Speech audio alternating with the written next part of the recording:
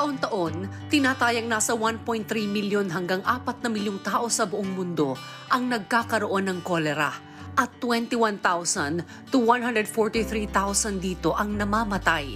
Dahil dyan ay nananatili pa rin itong global threat sa kalusugan ng publiko at isa ring indikasyon sa kakulangan ng akses sa ligtas na tubig at basic sanitation, lalo na sa mga mahirap at liblib na lugar. Ang kolera ay isang impeksyon na sanhi ng pagkain o pag-inom ng isang bagay na kontaminado ng bakterya na Vibrio cholerae. Ito ay maaring maging sanhi ng severe watery diarrhea at severe dehydration na kapag hindi agarang nagamot ay posibleng maging sanhi ng pagkamatay. Nito lamang 2017 ay sinimula ng isang global strategy on cholera control, ang Ending Cholera, a Global Roadmap to 2030 at ito ay may layuning pababain sa 70% ang bilang ng namamatay dahil sa impeksyong ito. Kaya naman may libreng telemed tayo tungkol sa cholera dito lang sa Sinido. At para bigyan tayo ng libreng telemed tungkol sa cholera, makakasama natin ngayon si Dr. Via Roderos Galban, isang general physician. Good morning, Doc Via. Welcome back, Doc. Good morning, Miss Meiji, Sir Audrey, at sa lahat po ng ating mga manonood, rise and shine po sa ating lahat.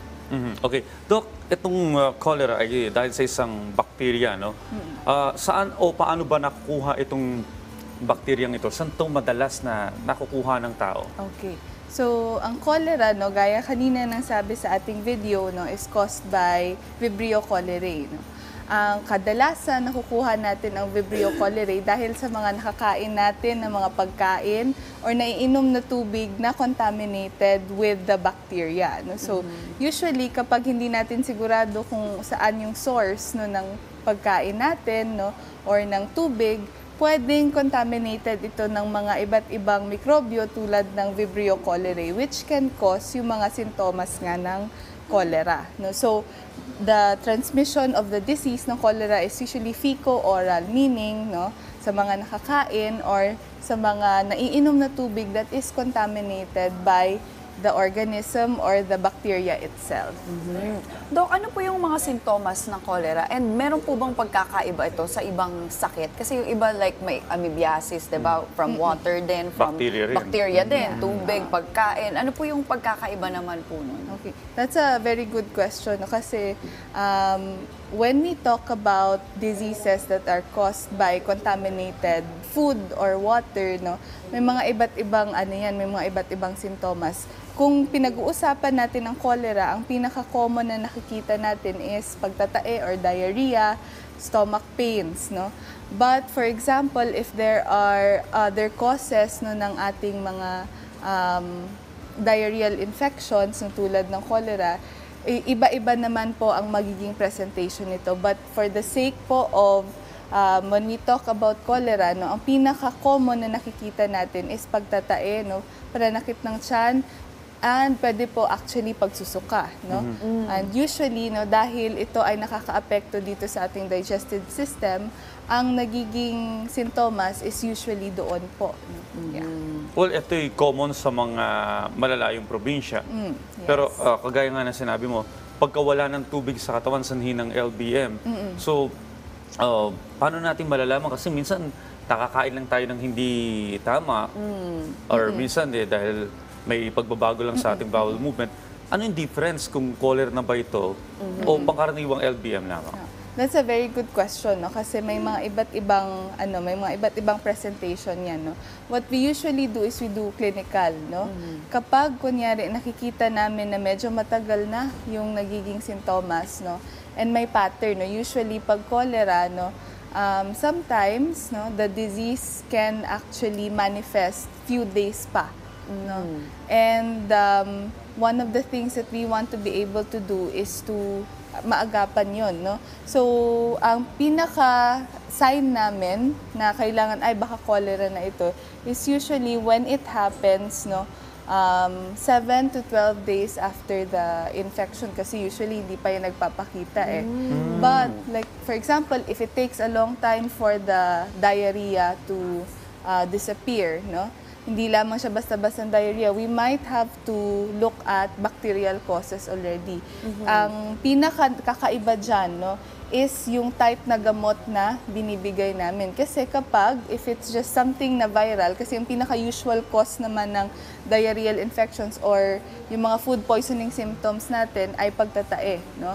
Kapag tumatagal siya or may ibang symptom tulad ng fever, no? Or tulad ng bloody na diarrhea, no, we usually give other medications na because it might be uh, bacterial in nature. Mhm. Doc, aside from medication, ano po yung ano pa yung mga treatment na pwedeng gawin pag may cholera ka na? And usually, gano'n katagal, tumatagal pag meron ka na nito? Actually, Miss Meiji, magandang ah, isa-isip natin yan, no? Kasi ang pinaka-binabantayan natin kapag diarrheal infections or mga uh, nagkukos ng mga gastrointestinal ah, diseases, no, is the dehydration. Kasi ang dehydration ang pinakadelikado dito na binabantayan natin pagkawala ng tubig sa katawan, no? Because of the ah, pagtatae or pagsusuka, no? And usually, ang tinitingnan natin dito, no, is kapag um, na, na bibigyan natin ng lunas, kunyari yung oral rehydration therapy, no, mawawala yan in about uh, a few days to a week. No? Um, but if it's something like cholera, no, um, bukod sa oral rehydration na therapy para hindi ka mawalan or di tayo matuyuan, no, nagbibigay tayo ng antibiotics. No? Ang first line usually binibigay namin is doxycycline ah, para mawala yung mikrobyo or para mapatay yung mikrobyo na nasa loob ng ating tiyan. Mhm. Well, may mga over-the-counter na mga medicine, ano?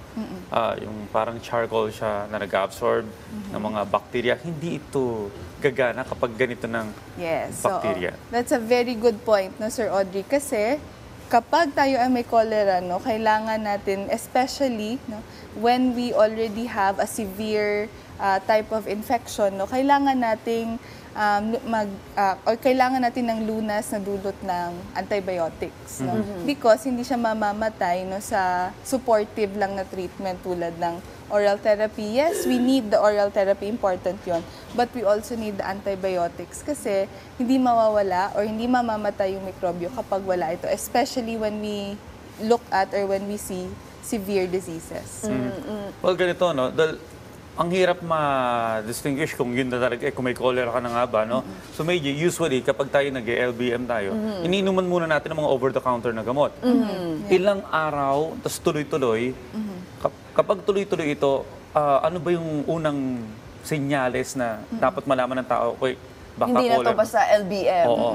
When we already look at the duration, no? Okay. kapag tumagal siya na LBM, um, nagtatae, nagsusuka ka, walang lunas, especially if, for example, patuloy ka nagtatae, wala pa rin How, nangyayari. for how many days, Doc? Usually, we look at one week. One no? week? Oo. Okay. But ako, pinababantayan ko na yan, no, when I have patients, no, pinababantayan ko na yan 3 to 5 days. Kung wala pa rin, I usually already look at other causes na baka hindi lang to basta-basta viral uh, diarrheal infection. Baka meron ng bacterial infection ito tulad ng cholera, no? Yung iba, no, we look at typhoid fever, but that's another case, no? Iba naman yung presentation nun. Um, but we usually look at the duration, no? Tsaka yung mga severity ng symptoms, no? Kapag may fever na, no? Kapag hindi lamang um, pagtatae at pagsusuka ang nakikita, meron ng headache, no? Na, ah, na nagiging matamlay na, we usually already give other types of treatment, hindi lamang supportive. Yeah. Doc, I just wanna ask, no, um, nakakahawa ba ito once infected ka na rin? O hindi naman? Yeah. Ang cholera, no, may tinatawag tayo na shedding. No? So, ang nangyayari dyan, no, kapag ang tao ay, ay infected with a uh, infection, no, pwede niya actually mapass through to fecal oral route. Kasi pag nagtae tayo, no, nandun yung bacteria sa uh, ano natin, no, sa dumi natin. Kapag yung dumi na yan nag-contaminate to other sources, no, especially sa water, no, pwede actually nating mapasa yung bacteria na yon to another person. Kaya nagkakaroon din ng cholera outbreak. Yes. Yun na nga yung ah, gusto ko sana itanong. Paano kapag may cholera out- ah, outbreak, mm, halimbawa yung ibang isang malayong lugar at ah, medyo yung isang buong komunidad na apektuhan, ano po bang ginagawa dito ng health department? Usually, no, that's a very ano, a public health ano na related concern. Ang ginagawa natin, we look at or we trace kung saan yung source. kung saan yung source ng tubig or pagkain, kung saan nanggagaling yung infectious agent. No? And then pag when we find that out, no, we actually uh, take the source away no para hindi na dumami no yun actually yung pinakaunang public health related concern that was solved no ilang decades ago by John Snow no so yun talaga yung ginagawa natin Mm, alright. Maraming salamat po, Doc Via, sa laging pagpapaunlak po sa aming imbitasyon ha, dito sa RSP at of course sa libreng telemed. Again, thank you, Doc, and Maraming stay salamat, safe. Doktora.